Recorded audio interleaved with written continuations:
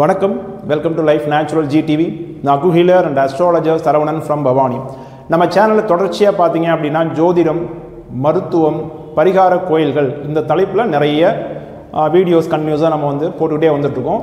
அந்த வகையில் வந்து ஒவ்வொருத்தருக்கும் தெரிஞ்சுக்க வேண்டிய விஷயம் கேது அப்படிங்கிற ஒரு கிரகம். இது வந்து என்ன வேலை நம்ம லைஃப்பில் பார்க்குது அப்படின்னு தெரிஞ்சிட்டோம்னா சில விஷயங்கள் நம்ம எச்சரிக்கையாக இருந்து வரக்கூடிய சில பிரச்சனைகளை ஈஸியாக தவிர்க்கலாம். அப்போ உங்கள் ஜாதத்தை எடுத்து வச்சுக்கிட்டு கேது வந்து எங்கே இருக்குது அப்படின்னு பாருங்கள் நான் வந்து அது நிறைய பாயிண்ட்ஸ் இருக்குது நான் உங்களுக்கு சிம்பிளாக புரிகிற மாதிரி சில விஷயங்கள் மட்டும் சொல்கிறேன் அதை மட்டும் நோட் பண்ணிட்டே வாங்க. இப்போ சூரியனோட கேது சேர்ந்து இருந்துச்சு அப்படின்னா அந்த நபருக்கு வந்து அப்பாவோட கருத்து வேறுபாடுகள் இல்லை அவருக்கு பிறக்கிற மகனோட கருத்து வேறுபாடுகள் தலை சம்பந்தப்பட்ட தொந்தரவுகள் வந்துடுது. ஸோ இது நீங்கள் தெரிஞ்சது அப்படின்னா இந்த விஷயங்களை எச்சரிக்கையாக இருந்தால் நீங்கள் தவிர்த்துக்கலாம். இதே போல் சந்திரனோட கேது இணைஞ்சிருக்கு. உங்கள் ஜாதகத்தில் சந்திரனோட கேது இணைஞ்சிருக்கு அப்படின்னா ஃபஸ்ட்டு வந்து அம்மாவோட வாழ்க்கை ரொம்ப சிரமப்படக்கூடிய வாழ்க்கையாக இருக்கும். நிறைய தனிமையில் அவங்க லைஃப் ஓட்ட வேண்டிய ஒரு சூழல் இருக்கும். உங்கள் அப்பா வந்து ஃபாரினில் ஒர்க் பண்ணியிருப்பார் ஏதோ ஒரு வகையில் பிரிவு இருக்கும். அது மட்டும் இல்லாமல் வந்து இந்த ஜாதகருக்கு வந்து மன சம்பந்தப்பட்ட நிறைய பிரச்சனைகள் இருக்கும். சில முடிவுகள் எடுக்க முடியாது.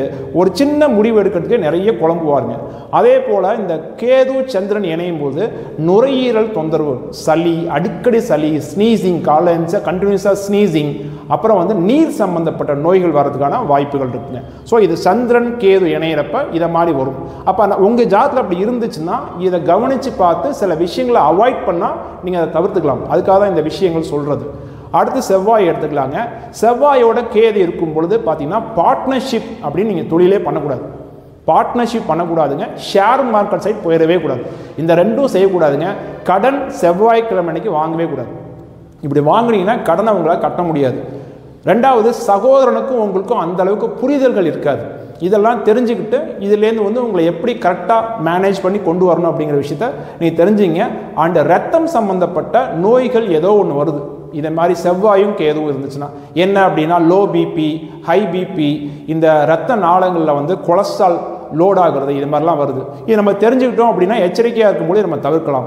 அடுத்தது புதனோட கேது இருக்குது அப்படின்னா ஃபஸ்ட்டு நீங்கள் கவனமாக இருக்க வேண்டியது உங்களுடைய டாக்குமெண்ட்ஸ் அது லேண்ட் டாக்குமெண்ட்டாக இருக்கட்டும் இல்லை வந்து ஒரு வீட்டோட டாக்குமெண்ட்டாக இருக்கணும். அதே மாதிரி உங்களோட மகளை மகளோட வாழ்க்கையை அமைச்சு கொடுக்குற விஷயத்தில் ரொம்ப கவனமாக இருக்கணும். அதே மாதிரி புதனோட யார் யாருக்கெல்லாம் கேது இருக்கோ கல்வியில் மிகப்பெரிய தடுமாற்றங்கள் இருக்குது அப்போ வந்து அவங்களாம் ஒரு தடவைக்கு பல தடவை படிக்க வேண்டியிருக்கு. அதே மாதிரி புதனோட கேது இருக்கிறப்ப காதல் தோல்வியாகுது. இது உங்கள் ஜாதத்தில் பார்த்துட்டிங்கன்னா அதை மாதிரி அட்டம் பண்ணாமே இருக்கலாம். ஸோ இதெல்லாம் புதனும் கேதுவும் சேர்றப்ப. அடுத்தது சுக்கரன். சுக்கரனோட கேது சேர்றப்ப திருமண வாழ்க்கையில் ஏதாவது தொந்தரவு வந்துடுதுங்க.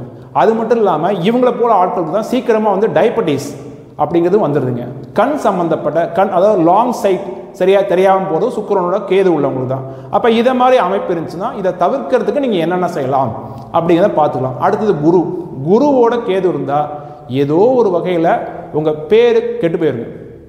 அது வந்து பெண்கள் சம்மந்தப்பட்ட விஷயமா இருக்கட்டும் பணம் சம்மந்தப்பட்ட விஷயமா இருக்கட்டும் உங்கள் நேம் சம்மந்தப்பட்ட விஷயமா இருக்கும் ஏதோ ஒரு வகையில் உங்களுக்கு ஒரு கெட்ட பெயர் வந்துடுது இதை வந்து தவிர்க்கிறதுக்கு நீங்கள் எச்சரிக்கையாக இருக்கும் கடைசியாக சனி. சனியோட கேது இருக்கும் பொழுது தொழில்கள் அப்படிங்கிறது வந்து மிக சிறப்பாக அமைவதில்லை. தொழிலில் வந்து பாடுபடுறாங்க கடுமையாக பாடுபடுறாங்க. ஆனால் அந்த அளவுக்கு பணம் வருதா அப்படின்னா வர்றதில்லை. ஸோ அப்போ இதை மாதிரி இணைவுகள் இருக்கும் பொழுது இப்போ ஃபார் எக்ஸாம்பிள் ஒரு யங்ஸ்டர் இருக்கான். அவனுக்கு புதனோட கேது இருக்குது ரெண்டு விஷயம் அவன் கான்சென்ட் பண்ணலாம். அவனோட ஜாதகத்தை பார்த்துட்டு. படிக்கிறது சரியாக மைண்டில் பதியாது. ஸோ ஒரு தடவைக்கு பல தடவை படிக்கணும். இது ஒரு விஷயம் அவன் எடுத்துக்கலாம். அவன் ஜாதத்துலேருந்து இன்னொரு விஷயம் அவன் என்ன எடுத்துக்கிறதுனா நம்ம இந்த காதல் சைடு போகக்கூடாது. போனால் நமக்கு தோல்வியில் முடிஞ்சிடும் மன கஷ்டம் போகக்கூடாது அப்படிங்கிற படிப்பினையும் எடுத்துக்கலாம். இதே மாதிரி எங்கெங்கெல்லாம் கேது போய் ஏதோ எந்த கிரகத்தோடு சேர்ந்தாலும் அந்த கேது வந்து உங்களுக்கு படிப்பினை கொடுக்குது அந்த கேது வந்து உங்களை எச்சரிக்கை பண்ணுது. ஸோ கேதுங்கிறது கெடுக்கிற கிரகம் கிடையாது. உங்களுக்கு நான் வந்து இங்கே வந்துட்டேன். சூரியனோட சேர்ந்துட்டேன். ஸோ ஏதோ ஒரு வகையில் தலை சம்மந்தப்பட்ட பிரச்சனைகள் வரப்போகுது. கவனமாக இரு அப்படின்னு எச்சரிக்குது.